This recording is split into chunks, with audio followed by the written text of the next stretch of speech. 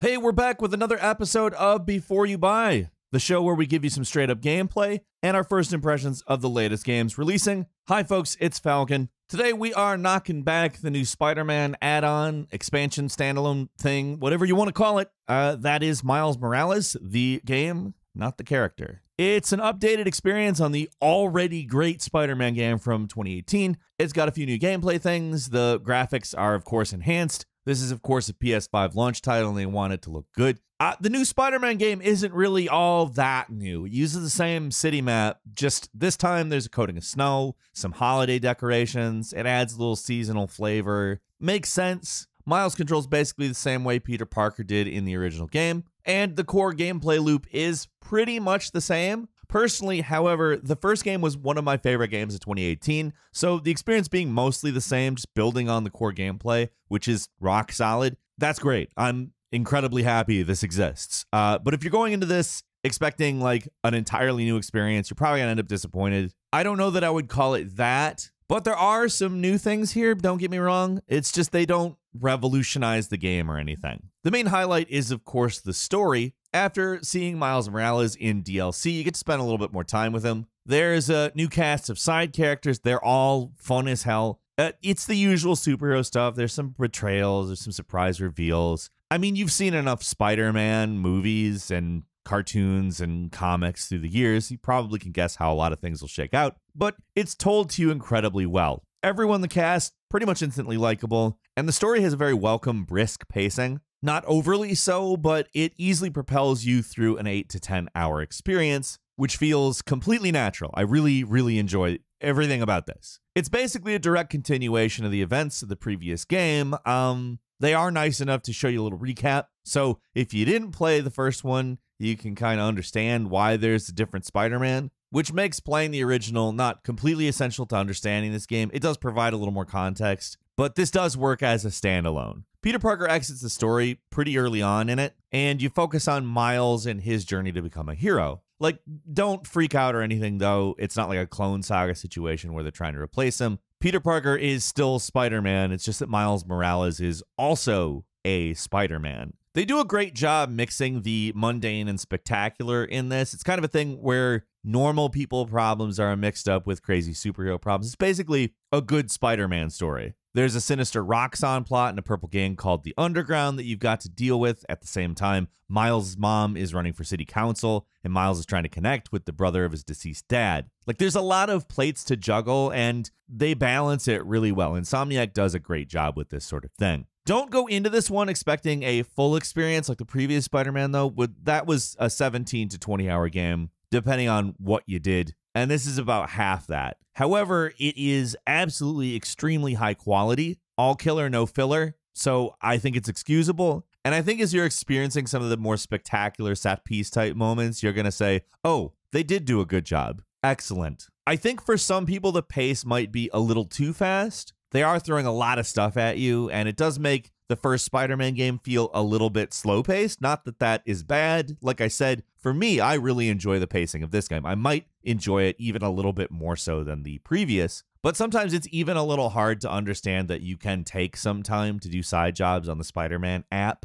which is actually a clever little idea they came up with to sort of ground it in a today thing. Citizens can kind of be like, yeah, we need you to do something. I will say though that some of the side activities like holotraining and underground caches are a little bland. It's kind of a carryover from the original game, which gave you a lot to do, and some of them are not, well, that interesting. The game does expect you to be a bit familiar with the controls. Like, it's not too hard or anything, but the short tutorial the game opens with, I don't know, feels a little overwhelming if you're new or just haven't played the original since it came out.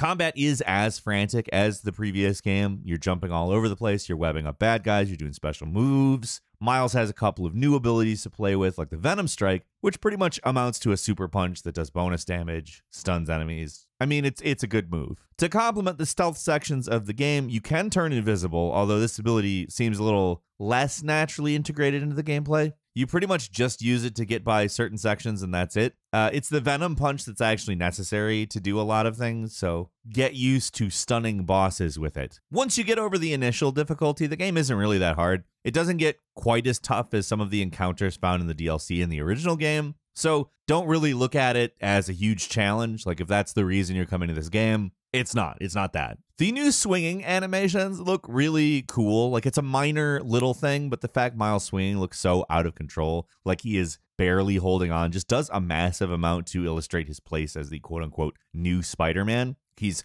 getting used to it. He doesn't fully understand it. And I mean, it's really cool in my opinion. The city still looks great, of course, from cozy interiors to busy streets. Like the level of detail on all of this is just incredible. And with the added power of the PS5, adding things like ray tracing, everything pops in a way that is, well, frankly stunning. Of course, as is becoming the standard very quickly here, you get the option to switch between a 4K mode that runs at 30 frames per second and a performance mode that runs at 60. I'll be a broken record here and say that the 60 frames per second is probably the best way to play it, but sometimes it's worth just turning on the other mode just to see how great the game can look. Like if you're there for screenshots or photos, that type of stuff, you're probably going to want to go over to 4K. But for me, the 60 frames per second, it's not enough of a detriment to make me go, eh, like it still looks incredible, except for it runs at 60 frames per second. One of the big improvements I have to really point out is the music. One of the first things we see is Miles walking out of the subway with a pair of headphones on, and they definitely step things up the way that they integrate music into the game. Like, rather than just going with a generic orchestral score, this time we get a pretty cool mix of some hip hop, which mixes in interestingly with the traditional soundtrack. It works really good and is one of the more noticeable ways that this game stands out from its predecessor. Like, there's some really nice details in the music as well, like how it fades when you're done swinging around, or it becomes slightly muffled and distorted when you go into a menu. Like, it's really subtle, presentation oriented stuff. Like sure, the gameplay is a ton of fun, but it's it's Spider-Man. It's the game that you played already with different stuff in it. That's not a criticism. Video games have been like that for years. Like that's the bedrock on which like the Marios, the Sonics, the Crash Bandicoots, Donkey Kong Country, most beat 'em ups, like they follow specific formulas and they add things as they can. So no complaints on that. It's just that Miles' friends, family, and particular circumstances make him stand out and his story just feels very worth telling because everything is just enjoyable and human and interesting immediately. Even though it's mostly just a refinement of the first game rather than being a totally new game in its own right, like there's nothing wrong with that. It is a refinement of a fantastic game. I really enjoyed the first Spider Man, I enjoyed the DLC, and I really enjoy the Miles Morales game. Now, the real issue here is is it worth 50 bucks? And I think that depends. It's kind of a big ask for what amounts to a standalone expansion. Like that's only 10 bucks less than the first game and you're getting about half the content for 90% of the price. And like there's a package where you get it packed with the original game for an additional 20 bucks, which is $70, which is fantastic if you haven't played the first game, to be frank. And I, I have to say for sure, like the most bang for your buck is if you have not played the first game and you're really interested in this whole package, it does come with a remastered version of the first game on the PS5 in the $70 package. And while we're at it, let's talk a little bit about that. It is it's mostly the same. Like it's not like a different game, but it obviously runs a lot better on PS5. The big change, however, and the one that caused a lot of conversation before release was the change to Peter Parker's face model. It was I mean kind of really jarring to me to see the same voice coming out of a different head, but it didn't take a long time for me to adjust. It's just sort of weird, but you get used to it, I guess. It does look a lot better in motion than those first screenshots we saw. Like for some people, this change is a total deal breaker, and I get that, but it's kind of a big whatever for me. I don't really care what Peter Parker's face looks like a whole lot. I kind of just care about the game being a quality package, and for 70 bucks, both the remaster and the new Miles Morales game with all the DLC, that's valuable in my opinion, especially again if you haven't played the first. So I think this one is a buy